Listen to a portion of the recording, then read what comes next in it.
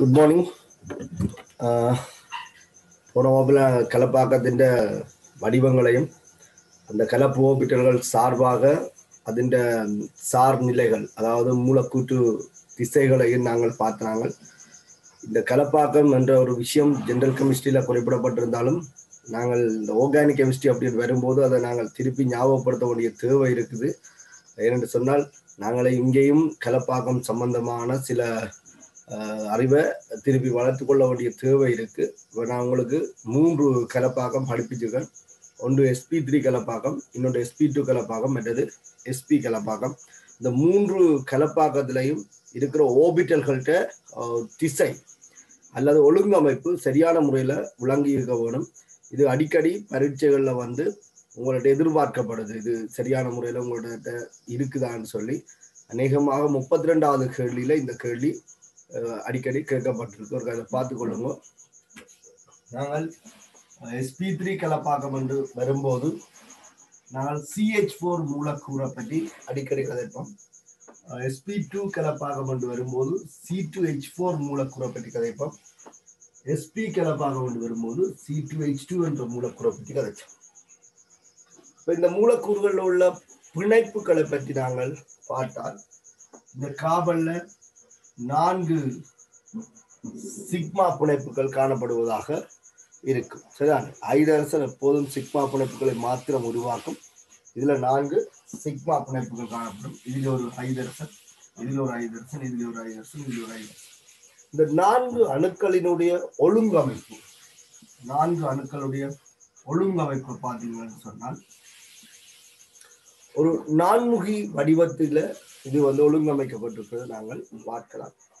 இதுல வந்து SP two கலப்பு ஆகவே ஒரு பி அணுவோபிட்டல் கலப்புல ஈடுபடாமல் இருக்கும்.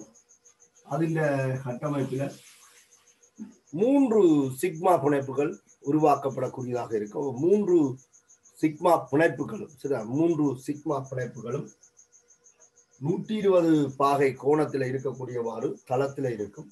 இது அடுத்த காவணம் எஸ்பி டூ கலப்பு.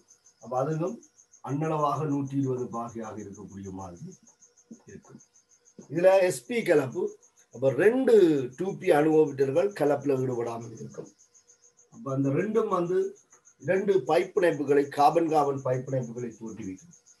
அதில் இருக்கிற எஸ்பி கலப்பு ஓபிட்டல் வந்து சிக்மா பிணைப்பை தோற்றுவிக்கும். சரிதானே? இந்த மூலக்கூற்று வடிவங்கள்ல இருந்து நீங்கள் விளங்கிக் கொள்ள வேண்டிய விஷயம் என்னன்னு சொன்னால் எஸ்பி த்ரீ கலப்பாக்கம் அப்படின்னு சொல்லி நீங்கள் பார்த்தீங்களாக இருந்தால் கவனிங்க எஸ்பி த்ரீ கலப்பாக்கம்னு சொல்லி பார்த்தால் அந்த காபன் அணுவோட இணைந்திருக்கிற நான்கு பிணைப்புகள் நான்கு பிணைப்புகளும் நூற்றி ஐம்பது பாகை இருபத்தெட்டு கலை இப்ப சேர்வைகள்ல சில நேரத்துல கோணம் கொஞ்சம் வித்தியாசப்படலாம். ஆனால் நூற்றி ஒன்பது பாகை கோணத்தை அண்மிக்கும். அதாவது நான்முகி வடிவத்திலே இருக்கும். இதுல சிஹெச் ஃபோர் இருந்தா என்ன? சிசிஎல் ஃபோர் இருந்தா என்ன? சிஹெச் சிஎல் த்ரீ இருந்தா என்ன? இதுல இருக்கிற நான்கு பிழைப்புகளுக்குமான கோணம் நூற்றி ஒன்பது பாகையாக அந்நளவாக இருக்கும். ஆகவே இதுல என்ன அணு இணைகிறது என்பது இல்லை. எந்த அணு இணைந்தாலும் எஸ்பி த்ரீ கலப்பாக்கத்துக்கு உட்பட்ட காபண்ட வடிவம் நான்முகியாகத்தான் இருக்கும். அதே மாதிரி எஸ்பி டூ கலப்பாக்கம் என்று சொன்னால் கவனிக்க வேண்டிய விஷயம் தான் எஸ்பி டூ கலப்பாக்கம் என்று சொன்னால் இந்த கலப்பு காபன் சார்பாக இந்த கலப்பு காபன் சார்பாக இது ஒரு பைப்பிணைப்பு. பைப்பிணைப்பு இந்த போர்டுக்கு செங்குத்தாக இருக்கும். நாங்கள் காட்டுறதுக்கு இடம் இல்லாமல் இதில் காட்டுறோமே தவிர அது இதில் செங்குத்தாக தான் இருக்கு இந்த தளத்தில் இந்த தளத்தில் இருக்கு. அப்ப இதுல உள்ள மூன்று சிக்மா புனைப்புகளுக்குமான கோணம் மூன்று சிக்மா புனைப்புகளுக்கான கோணம் அன்னளவாக நூற்றி இருபதாக இருக்கும். ஏன்னு சொன்னால் இது எஸ்பி டூ கலப்பு. அப்ப இந்த எஸ்பி டூ கலப்புல கலப்பு ஓவிட்டல் மூன்றுக்குமான கோணம் வந்து உங்களுக்கு நூற்றி இருபது பாகையாக இருக்கும். இப்ப நான் உங்களுக்கு முதலே சொல்லியிருக்கிறேன். இந்த பிணைப்புகள் இந்த பிணைப்பை தாழ்றதால இது நூற்றிலோட சற்று குறைவாகவும் இது நூற்றிலோட சற்று உயர்வாகவும் இருக்கும் சேர்வைகள். இதுல பாத்தீங்கன்னா இது எஸ்பி கலப்பு. சரிதான் இது வந்து எஸ்பி கலப்பு. எஸ்பி கலப்புல கலப்பு ஓபிட்டல் வடிவம் நேர்கோடு இந்த கார்பன் சார்பாக இந்த கார்பன் சார்பாக ரெண்டு சிக்மா பிணைப்புகளும் அதாவது எஸ்பி கலப்பு ஓபிட்டல்களும் நேர்கோட்டில் இருக்கும் இந்த கார்பன் சார்பாக இந்த ஐதர்சன் இந்த கார்பன் ஒரு நேர்கோட்டில் இருக்கு. இதுவும் எஸ்பி கலப்பு என்பதால இது இது நேர்கோட்டில் இருக்கு.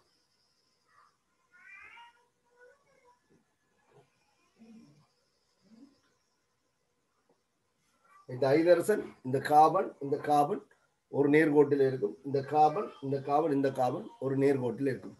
ஆகவே இதுல இருக்கிற இந்த நான்கு அணுக்களும் இதுல இருக்கிற இந்த நான்கு அணுக்களும் ஒன்றுக்கொன்று நேர்கோட்டிலேயே காணப்படும். இதெல்லாம் நீங்க கொஞ்சம் விளங்கிக் கொள்ள வரும் சரியா?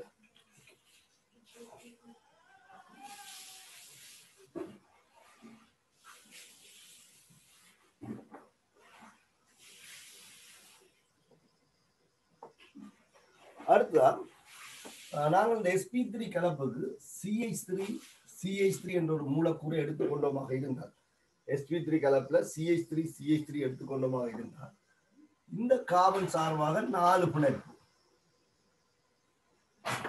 இந்த கார்பன் சார்பாக நாலு பிணைப்பு. அதுல மூன்று ஐதரசன் இருக்கு.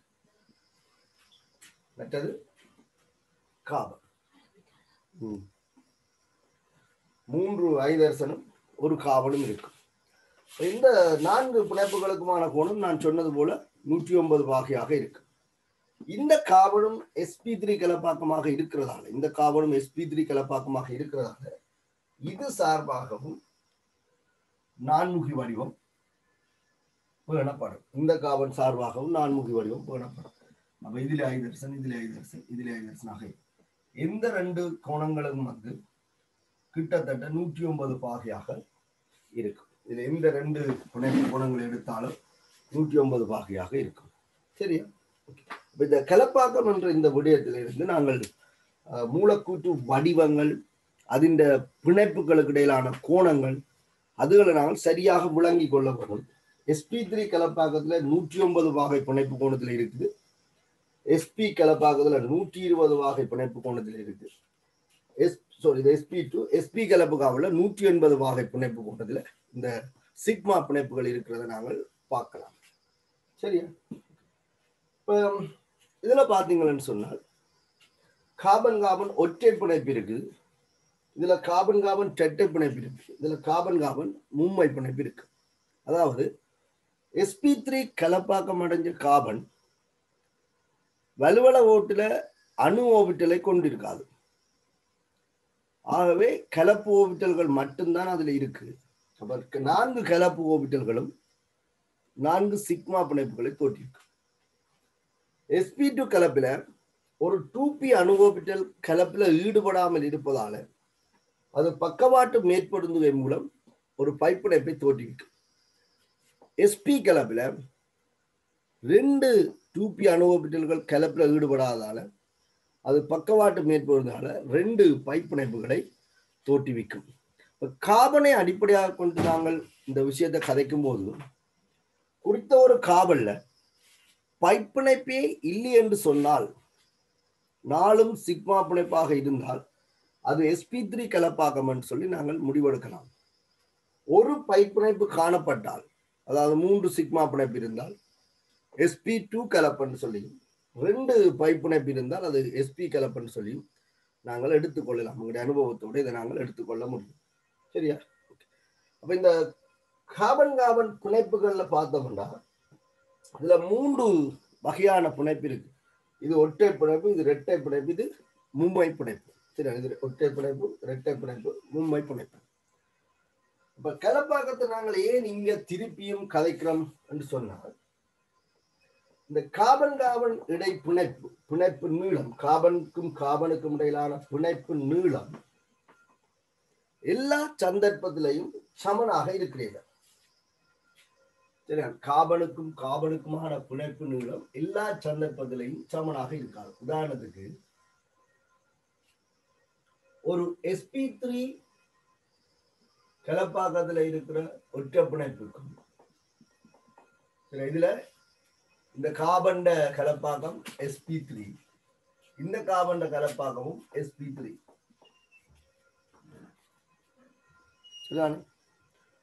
ஒரு எஸ்பி த்ரீ கலப்பு ஓவிட்டலும் இன்னொரு எஸ்பி த்ரீ கலப்பு ஓவிட்டலும் நேர்கோட்டு மேற்பொருந்துதல் மூலம். ஒரு எஸ்பி த்ரீ கலப்பு ஓவிட்டலும் இன்னொரு எஸ்பி த்ரீ கலப்பு ஓவிட்டலும் நேர்கோட்டு மேற்பொருந்துகளும் இந்த சிக்மா பிணைப்பு உருவாக்கப்பட்டிருக்கு. அப்ப காபன் காபன் பிணைப்புகள் இப்படி இருக்குதுன்னு நான் வச்சுக்கொள்றேன் அடுத்த மூலக்கூறுல இது எஸ்பி டூ கலப்பு. அப்ப இவர் சார்பாக நூற்றி இருபது பாகையில மற்ற அணுக்கள் காணப்படுது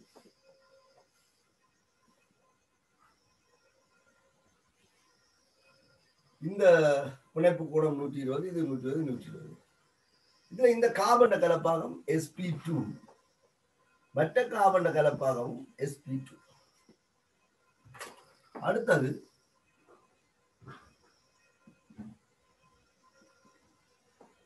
இந்த காபண்ட கலப்பாக்கம் எஸ்பி மற்ற காபண்ட கலப்பாக்கம் எஸ்பி அப்ப காபன் காபன் ஒற்றை பிணைப்பிന്റെ பிணைப்பிடை தூரம் കാബൻ കാബന്റെ രട്ടേ പിണപ്പിന്റെ പിണപ്പിടை தூரம். காபன் காபன் மும்மை பிணைப்பிட்ட புனைப்படை தூரம். இதை நான் படத்தின் மூலமாக ஒப்பிடக்கூடியமாறு கீறியிருக்கேன் இது பெருசாகவும் இது சின்னதாகவும் இது சின்னதாகவும் அப்ப இதுல இருந்து நாங்கள் பிணைப்பு நீளத்தை ஒப்பிடலாம். பிணைப்பு நீளத்தை பார்த்தீங்கன்னு சொன்னா இதை விட இது சின்ன இதை விட இது சின்ன. அநேகமாக ஜென்ரல் கெமிஸ்ட்ரியில் வாரது ஸ்ட்ரக்சரில் இல்லை எம்சிக்கில் வேறு சொல்லி பிணைப்பு நீளத்தை குறித்த ரெண்டு அணுக்களுக்கு இடையிலான பிணைப்பு நீளத்தை பாதிக்கிற காரணிகள் ரெண்டு பிணைப்பு நீளத்தை பாதிக்கிற காரணிகள் ரெண்டு ஒன்று பிணைப்பு வரிசை. பிணைப்பு வரிசை. மற்றது ஓபிட்டல் வகை கிளப்பாக்கம். தான் நாங்கள் இதை பற்றி கதைக்க வேண்டிய தேவை வருது ரெண்டு அணுக்களுக்கு இடையிலான பிணைப்பு நீளத்தை ரெண்டு அணுக்களுக்கு இடையிலான பிணைப்பு நீளத்தை பாதிக்கிற காரணிகள் ஒன்று பிணைப்பு வரிசை இன்னொன்று அந்த ஓபிட்டலோட சம்பந்த பிணைப்போட சம்பந்தப்பட்ட கலப்பு ஓபிட்டல் ஓபிட்டல் இந்த பிணைப்பு வரிசை என்பது நீங்கள் ஜெனரல் கெமிஸ்ட்ரியில் என்ன படிச்சிருக்கிறீர்கள்?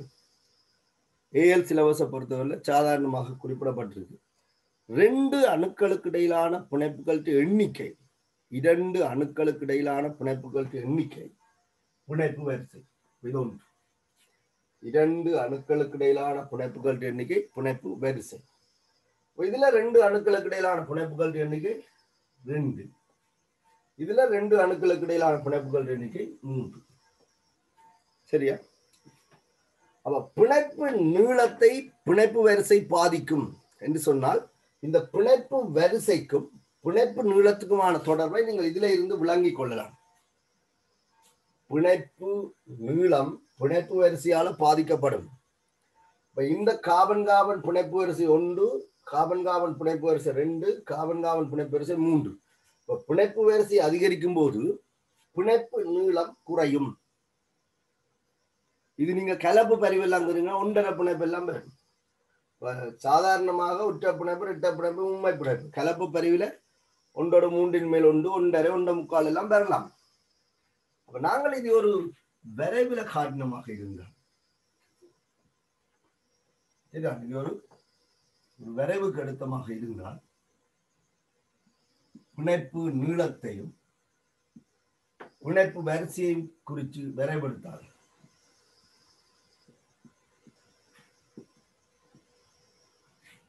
பிணைப்பு வரிசை ஒன்று பிணைப்பு வரிசை ரெண்டு பிணைப்பு வரிசை மூன்று. இது ஒரு செங்கோண அதிபர வலையாக இருப்பதை பார்க்கலாம்.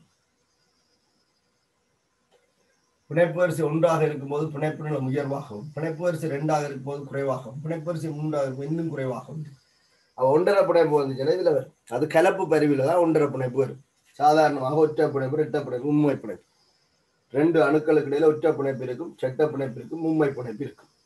அப்போ பிணைப்பு வரிசை அதிகரிக்கும் போது பிணைப்பு குறையும். இது ஒரு செங்கோண அதிபரவலையாக அமையும். அப்ப பிரதானமான காரணி இதுதான். பொண்ட் ஓடர் தான் பிணைப்பு நீளத்தை பிரதானமாக தீர்மானிக்கும். அதே நேரத்தில் இந்த பிணைப்பில் இருக்கிற கலப்பு ஓபிட்டலும் பிணைப்பு நீளத்தை தீர்மானிக்கும். அதற்கு பாருங்க. இந்த சிசி பிணைப்பு ஒரு எஸ்பி த்ரீ கலப்பு ஓபிட்டலாலையும் இன்னொரு எஸ்பி த்ரீ கலப்பு ஓபிட்டலாலையும் உருவாக்கப்பட்டிருக்கு. அதாவது இதில் எஸ்ஸின் இயல்பு இருபத்தி அஞ்சு வீதம். முதலை நாங்கள் பெருக்காச்சிருக்கோம் எஸ்ஸின் இயல்பு இருபத்தி அஞ்சு வீதம். இதுலேயும் எஸ்ஸின் இயல்பு இருபத்தி அஞ்சு வீதம். எஸ்பி டூ கலப்பில் எஸ்ஸின் இயல்பு முப்பத்தி மூன்று தசம் மூன்று மூன்று வீதம். இதுலயும் முப்பத்தி மூன்று தசம் மூன்று மூன்று வீதம். இதுல ஐம்பது வீதம். சரியா? அப்ப நாங்கள் பிணைப்பு வரிசையில தெளிவான முடிவு எடுத்துட்டோம். இப்ப இந்த கலப்பு ஓபிட்டல்ல இருக்கிற எஸ்ஸின் இயல்பு அதிகரிக்க பிணைப்பு நிலத்துக்கு என்ன நடக்கும் என்பதை நாங்கள் இந்த இடத்துல விளங்கிக் கொள்ளலாம். இந்த கார்பன் கார்பன் பிணைப்பு ஒரு SP three SP three carbon carbon பிணைப்பு. இது SP two SP two carbon carbon பிணைப்பு. இது எஸ்பி எஸ்பி கார்பன் கார்பன் அதாவது இதுல எஸ்ஸின் இயல்பு இருபத்தி அஞ்சு வீதம் இதுல முப்பத்தி மூன்று வருஷம் மூன்று வீதம் ஐம்பது வீதம். எஸ்ஸினுடைய இயல்பு அதிகரிக்கும் போது கலப்பு ஓபிட்டல் எஸ்ஸினுடைய இயல்பு அதிகரிக்கும் போது புனைப்பு நீளம் வந்து குறையுது. ஆகவே கலப்பாக்கமும் புனைப்பு நீளத்தை எவ்வாறு பாதிக்குது என்பதை நாங்கள் விளங்கிக் கொள்ளக்கூடியதாக இருக்கும். முதலாவது விஷயம் புனைப்பு வரிசை. புனைப்பு வரிசை அதிகரிக்கும் போது புனைப்பு நிலம் குறையும். அடுத்த விடயம் கலப்பாக்கம். அப்ப கலப்பாக்கத்தில் எஸ்ஸின் இயல்பு அதிகரிக்கும் போது புனைப்பு நிலம் குறைகிறது நாங்கள் பார்க்கலாம். சரியா? இது ஒரு நோட் பண்ணி கொள்ளுவோம். எஸ்ஸின் இயல்பு கலப்பாக்கத்தில் அதிகரித்தா புனைப்பு நிலம் வந்து குறையும். அது உண்மையா புனைப்பு வரிசையோட நீங்க விளையாடுங்க இந்த படத்தை கொள்ளுங்க.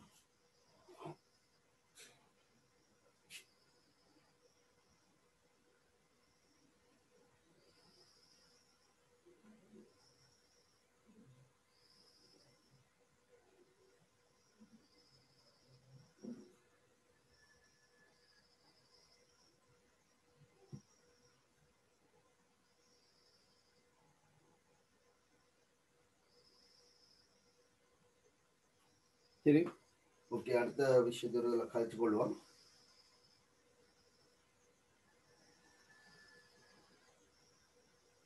அழிக்கிறேன்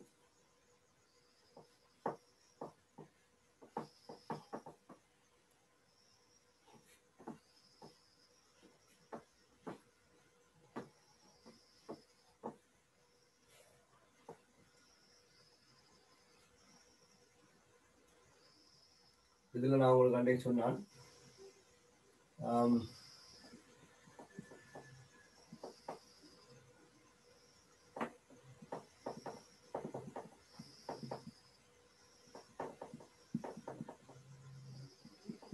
சரியா இத ஒரு மூலக்கூறுல இந்த காபன் கார்பன் இடை பிணைப்புகள் இருக்கு.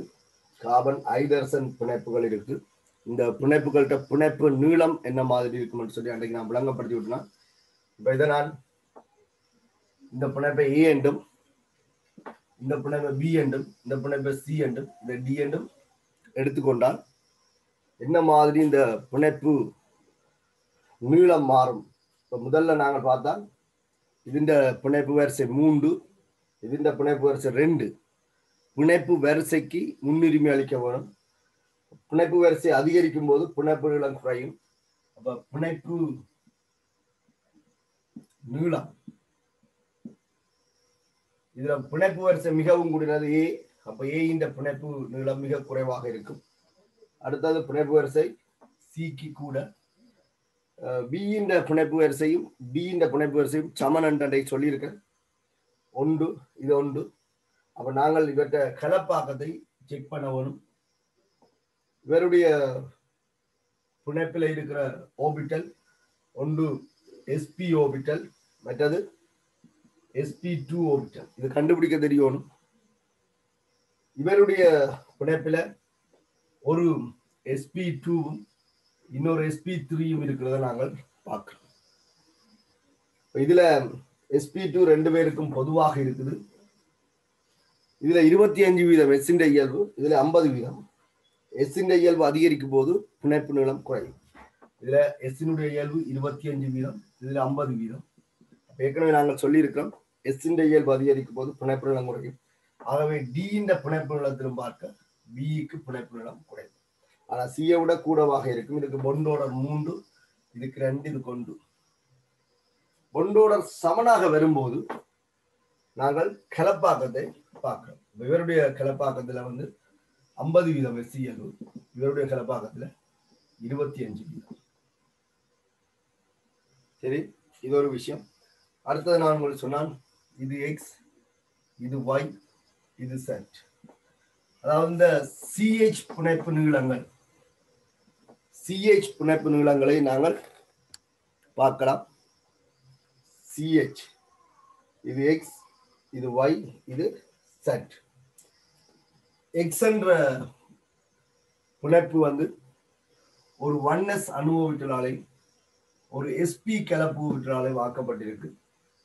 ஒய் என்பது ஒரு ஒன்எஸ் அனுபவித்தலாலை எஸ்பி டூ கலப்பு விட்டாலே வாக்கப்பட்டிருக்கு. சட் அணுவ அனுபவித்தலாலை எஸ்பி கலப்பு விட்டாலே வாக்கப்பட்டிருக்கு.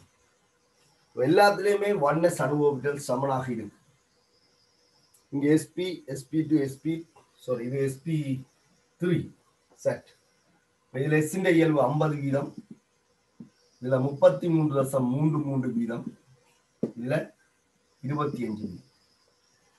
எஸ்ஸிண்ட இயல்பு அதிகரிக்கும் போது புனைப்பு நீளம் குறையும். ஆகவே புனைப்பு நீளம் எக்ஸ் வந்து மிக குறைவாக இருக்க வேண்டும். ஐம்பது வீதம்.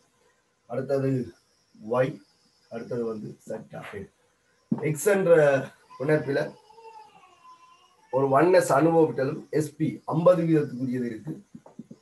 இதுல முப்பத்தி மூன்று வருஷம் மூன்று வீதம் இருக்கு.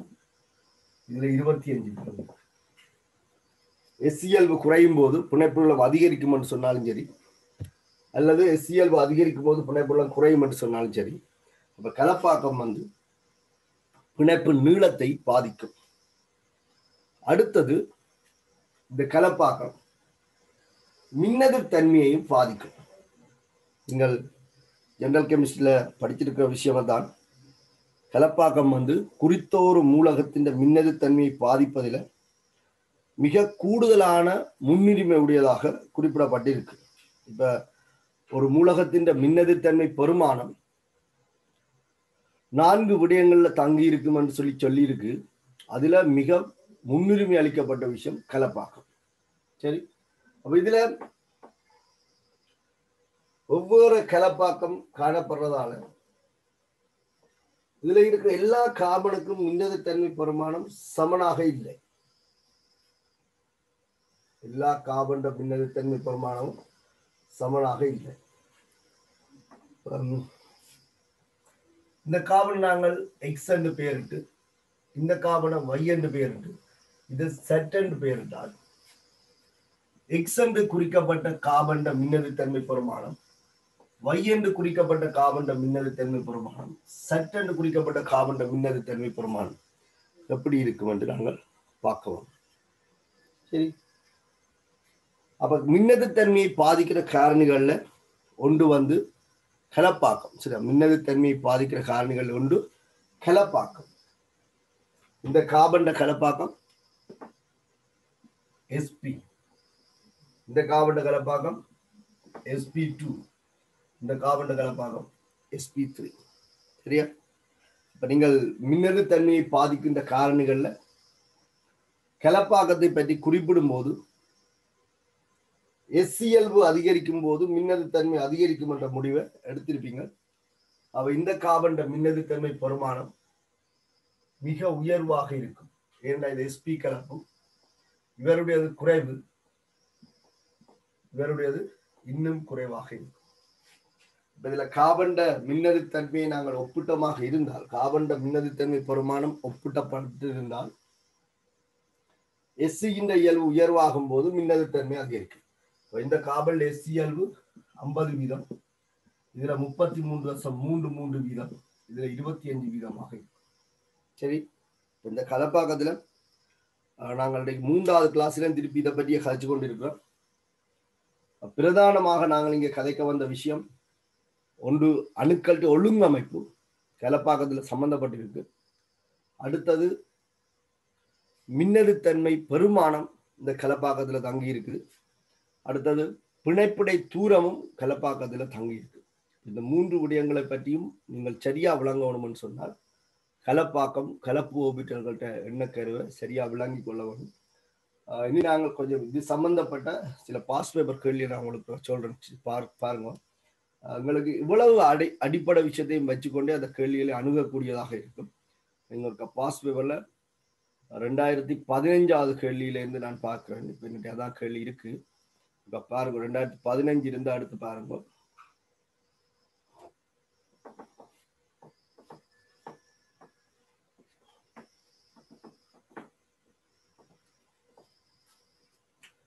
ரெண்டாயிரத்தி பதினஞ்சுல முப்பத்தி ரெண்டாவது எம்சிக்கு அநேகமாக இது முப்பத்தி ரெண்டாவது எம்சிக்குவாக வாரதை நாங்கள் பார்க்கலாம். ரெண்டாயிரத்தி பதினஞ்சுல முப்பத்தி ரெண்டாவது எம்சிக்கு இந்த கலப்பாக்கம் சம்பந்தமான ஒரு விடயம். இதுல சொல்லப்பட்டிருக்க விஷயத்தை பாருங்க.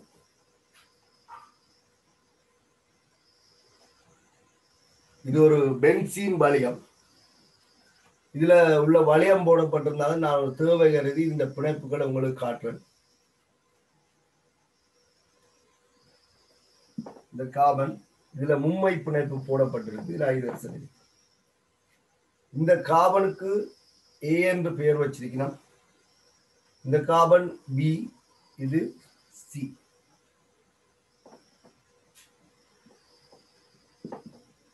இது டி சரியா?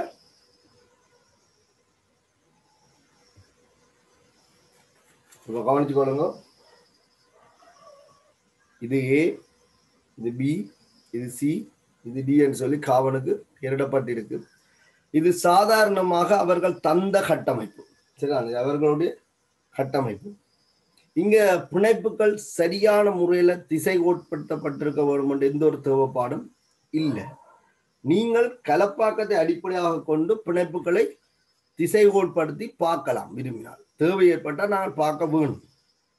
இப்போ நீங்கள் ஜென்ரல் கெமிஸ்ட்ரியில முதலாவது ஸ்ட்ரக்சர்ல சில நேரத்தில் லூயின் கட்டமைப்புகள்கிட்ட அந்த பிணைப்புகள்டே திசை கோட்படுத்தி கேட்கிறவே அந்த கலப்பாக்கத்தை அடிப்படையாக கொண்டு ஒவ்வொரு அணுக்கள்கிட்டையும் ஒழுங்கமைப்பை காட்ட சொல்லி. இப்போ இதில் எல்லாமே காபன் இது ஒரு காபன் இது ஒரு காபன் இது ஒரு காபன் இது ஒரு காபன் இது ஒரு காபன் இது ஒரு காபன் இப்போ பென்சின் வளையத்தை பற்றி நீங்கள் பெருசாக கேள்விப்படாட்டாலும் இது ஒரு காபன் என்று விளையக்கணும் அப்ப இதுவரைக்கும் நாங்கள் படித்ததை அடிப்படையாக கொண்டு சரி இதுவரைக்கும் நாங்கள் படித்ததை அடிப்படையாக கொண்டு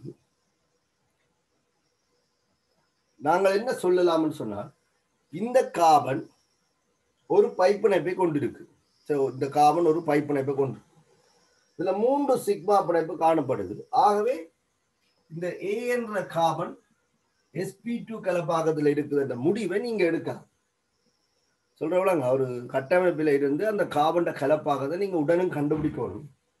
இந்த காபனுக்கு ஒரு பைப்பிணைப்பு இருக்கு. அப்ப அது ஒரு பிஓ விட்டல் இருக்கு. அப்ப மூன்று சிக்மா பிணைப்பு இருக்கு. அப்ப இது எஸ்பி டூ கலப்பு. இதுவும் அதே எஸ்பி டூ கலப்பு தான் இதுவும் எஸ்பி டூ கலப்பு தான் இதுவும் எஸ்பி டூ கலப்பு இதுவும் எஸ்பி டூ கலப்பு இதுவும் எஸ்பி டூ கலப்பு. எல்லா காவல்லையும் ஒரு பைப் பிணைப்பு இருக்கு. அடுத்தது பி இதுல ரெண்டு பைப்பிணைப்பு இருக்கிறதால. இதுல ரெண்டு பைப்பிணைப்பு இருக்கிறதால. ரெண்டு சிக்மா பிணைப்பு.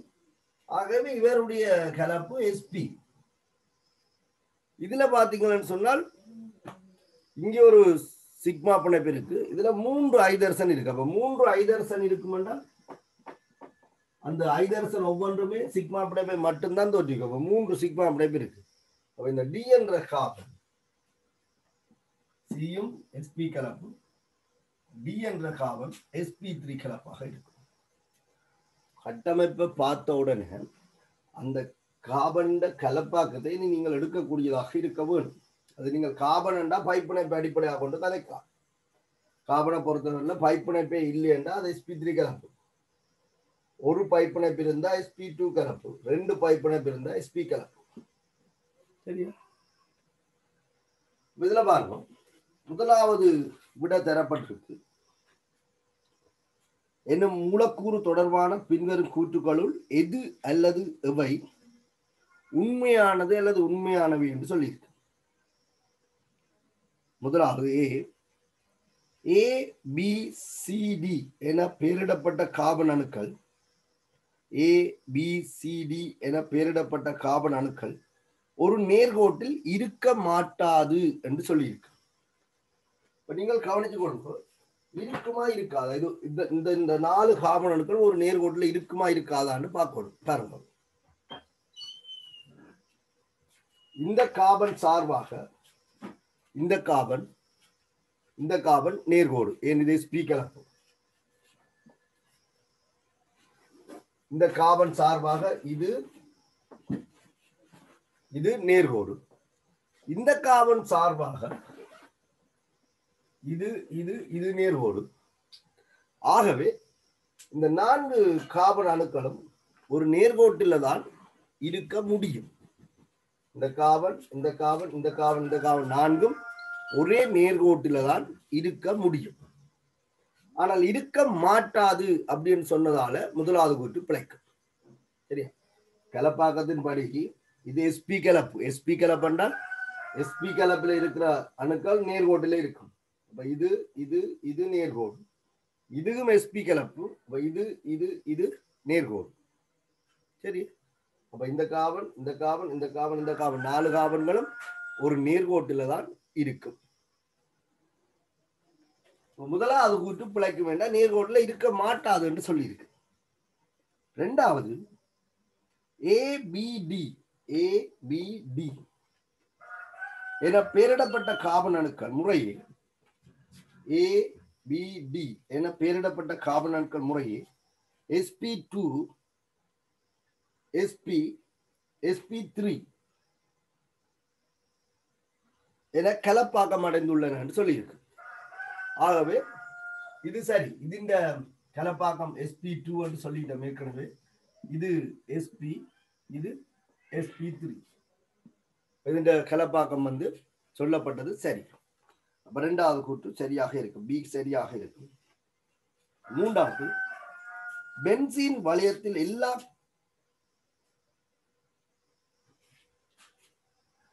பென்சீன் வளையத்தில் எல்லா காபன் காபன் பிணைப்புகளின் நீளங்களும் ஒன்றுக்கொன்று சமனான உள்ளவோடு ஒரு இதற்காக கவனித்துக் கொள்ளும்போது நீங்கள் கலப்பு பரிவு அப்படின்ற ஒரு விஷயம் ஜெனரல் கமிஷன் சில இதில் படிச்சிருக்கலாம். இதுதான் பென்சீன் வளையம். இந்த பென்சீன் வளையத்தில் ஒரு பரிவு நிகழ்வதன் காரணமாக இதான் நிகழ்வதன் காரணமாக இந்த பைப்பிணைப்பு இங்கால பரிவுக்கு உட்படும் இப்படி இது பரிவுக்கு உட்படலாம். அப்ப விளைவாக கலப்பு பரிவு அப்படின்னு நாங்கள் பார்க்கும்போது விளைவாக கலப்பு பரிவு என்று பார்க்கும்போது பென்சின் வளையத்துல இந்த ரெண்டு காபனுக்கு இடையில நிரந்தர ரெட்ட பிணைப்பும் இல்லை. நிரந்தர ஒற்ற பிணைப்பும் இல்லை.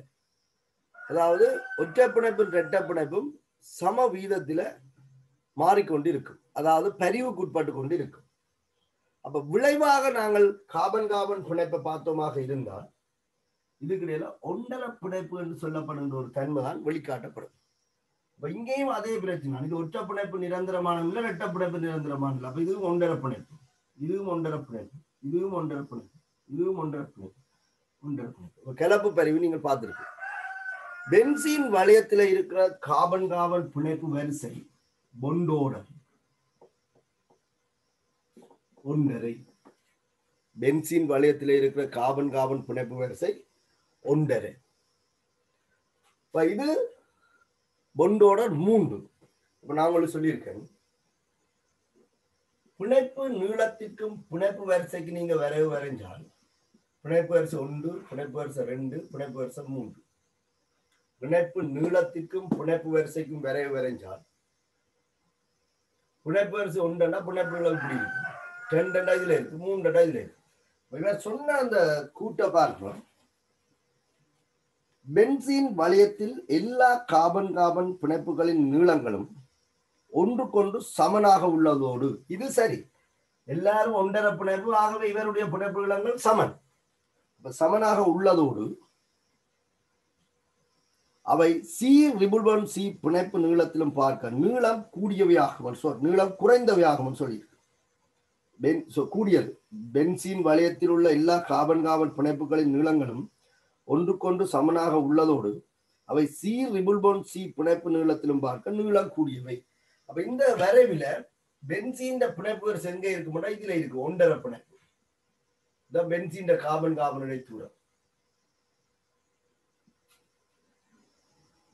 இதுண்ட பிணைப்புடைய தூரம் இங்கே இருக்கு சி ரிபுல் பாண்ட் சி இவர் சொன்னது சரி. இதை விட இது நீளம் கூடுதலாக இருக்கும்னு சொல்லி அடுத்தது நாலாவது கூட்டு பென்சீன் வளையத்தில் எல்லா காபன் காபன் பிணைப்பு நீளங்களும் பென்சீன் வளையத்தில் எல்லா காபன் காபன் பிணைப்பு நீளங்களும் ஒன்றுக்கொன்று சமனாக உள்ளதோடு அவை சி ரிபுல்போன் சி பிணைப்பு நீளத்திலும் குறைவானவை என்று சொல்லியிருக்கு. அதாவது இதை விட இது இந்த பிணைப்பு நீளம் குறைவு என்று சொல்லியிருக்கு. ஆகவே இதுக்கு மறுதலையாக இந்த கூற்று சொல்லப்பட்டிருக்கிறதால இந்த விடயம் வந்து தவறாக கருதப்படும் சரிதான்? அப்ப நீங்கள் இந்த முப்பத்தி ரெண்டாவது கேள்விக்கு ரெண்டாவது பி பி என்ற கூட்டும் சி என்ற கூட்டும் பொருத்தப்பாடுடையதாக இருக்கிறத நீங்க பார்க்கலாம். ஒரு சின்ன இடையூறு தவிர்க்க முடியாத காரணம். இந்த கிளாஸ் நான் இதோட நிறுத்தி கொள்றேன்.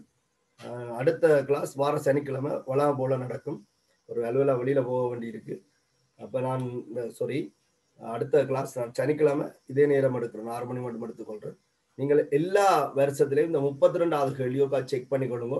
இந்த கலப்பாக்கம் சம்பந்தமாக இந்த பிணைப்பு நீளங்கள் சம்பந்தமாக க- கேள்விகள் கேட்கப்பட்டிருக்கு. நீங்கள் ரெண்டாயிரத்தி பதினொன்றில இருந்து இருபது வரைக்கும் பார்த்தீங்கள் என்றால் அநேகமான வருஷங்கள்ல முப்பத்தி ரெண்டாவது கேள்வி இந்த கேள்வியாக இருக்கும். நாங்கள் அடுத்த வகுப்பில் மிச்ச கேள்வியோக்கா பார்த்துட்டு ஆர்கானிக் மெயின் பகுதிக்கு போகலாம். சரியா?